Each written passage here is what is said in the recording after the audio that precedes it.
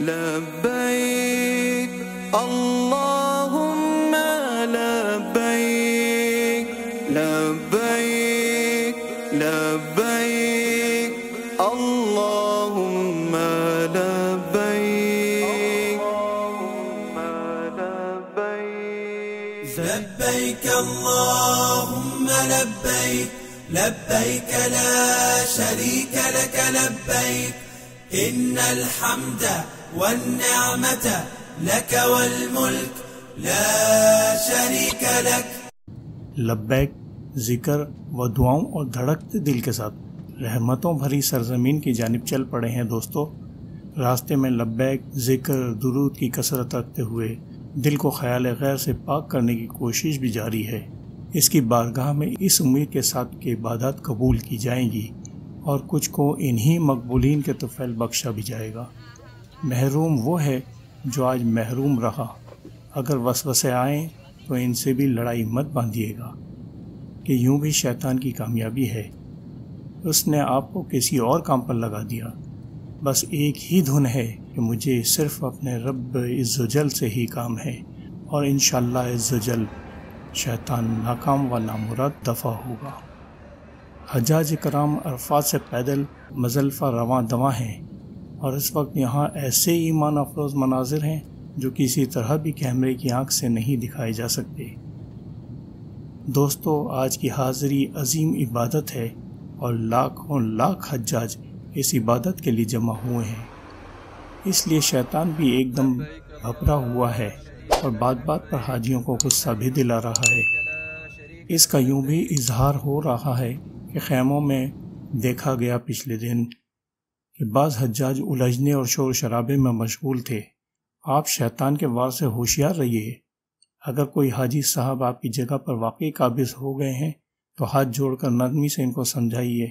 اگر وہ نہیں مانتے اور آپ کے پاس کوئی متبادل جگہ بھی نہیں، تو جھگڑنے کے بجائے معلم کے آدمی کو طلب فرما لیجیے انشاءاللہ زجل آپ کا مسئلہ حل ہو جائے گا۔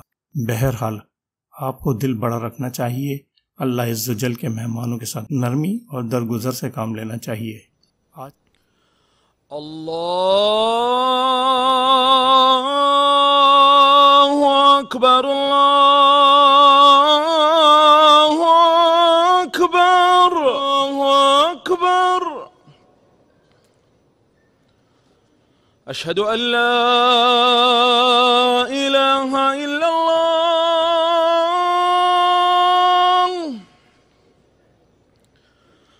أشهد أن لا إله إلا الله.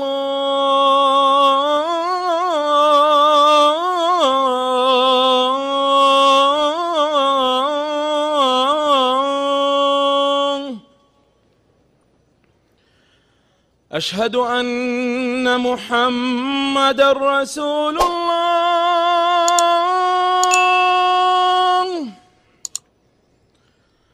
أشهد أن محمد رسول الله.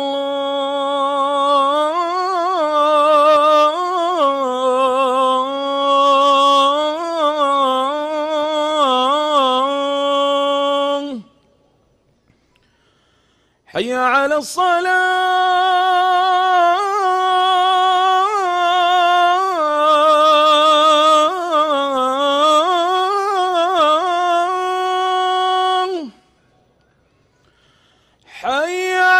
الصلاة.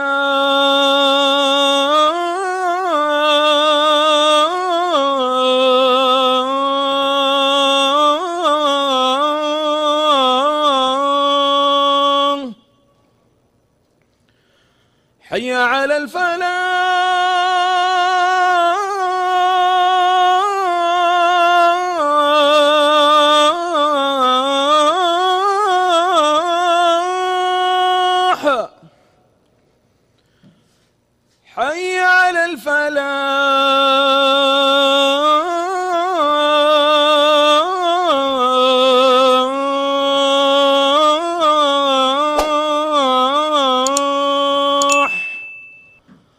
الله أكبر الله أكبر لا إله إلا الله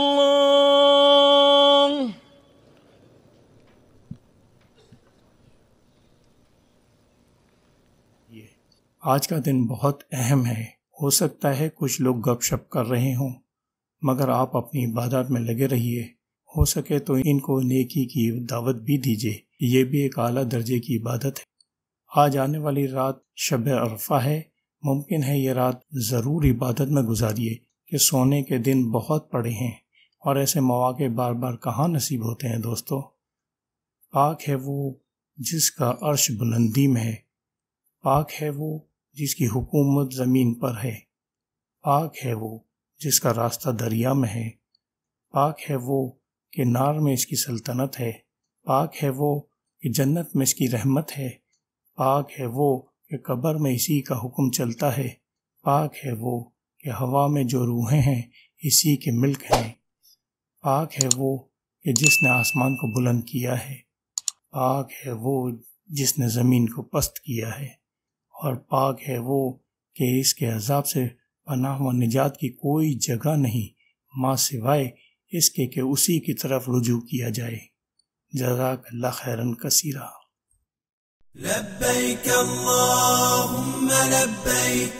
تو دوستو اس ویڈیو میں اتنا ہی۔ پھر ملتے ہیں اگلی ویڈیو میں۔ تب تک کے لیے اللہ حافظ۔